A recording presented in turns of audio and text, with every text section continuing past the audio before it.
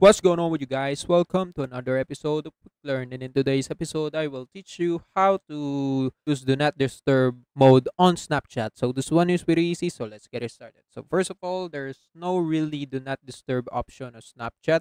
What you can only do is to manage your notifications. So this is how you're going to do it. On your Snapchat, go to your profile right here in the top left corner. And after that just go to settings right here on the top right corner and just scroll down until you find notification settings.